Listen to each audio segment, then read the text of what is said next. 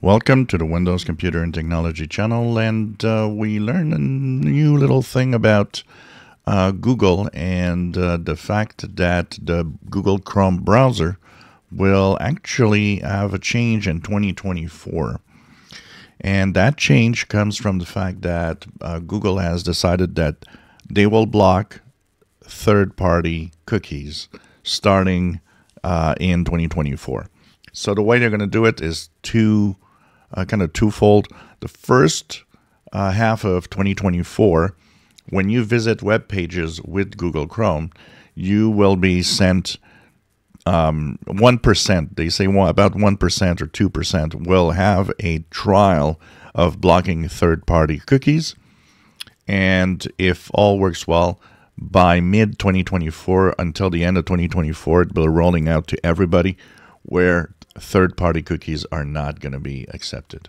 Now, why are uh, third party cookies uh, not accepted? It's very simple. When you visit a website, you have the cookies for the website itself, but you also have the um, other content. So you have ads, you have things that show up from other content providers on a page very often.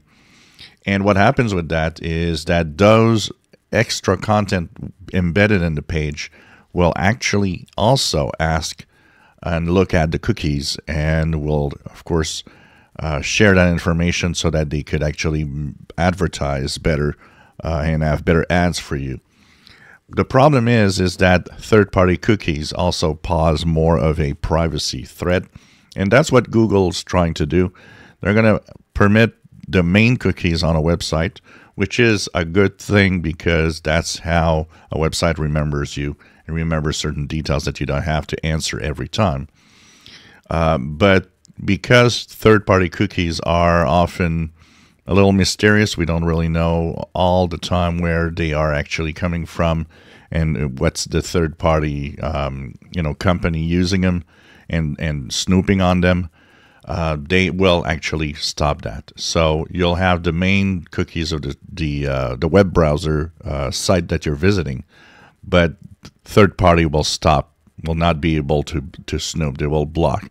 There's been a lot of uh, kind of complaint about that, but Google says it's going ahead, and it's going ahead because it will ensure better privacy in your browsing.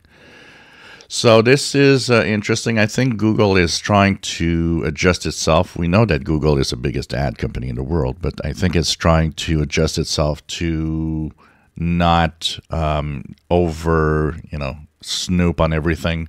Um, there's a lot of complaint about how things happen on the web, and my main personal complaint on the web is mostly not really knowing what actually is happening with all the the uh, the information and the snooping going on, because uh, you never really know, and that I think is a much bigger problem than actually being snooped on. It's more of not knowing who it is. So by blocking third-party cookies, that probably will help at least somewhat in the privacy, and uh, we'll see how that changes also our browsing over time. So that's coming up in 2024. A update to Google Chrome. The, the, the updates that will go through the year will slowly uh, bring these changes. Where, um, like I said, about one or two percent of you are going to be the first guinea pigs to start with the uh, privacy settings uh, enabled. And if everything's all right, by the end of the year, everybody will have third-party cookies blocked automatically. If you enjoy my videos, please subscribe, give us thumbs up. Thank you for watching.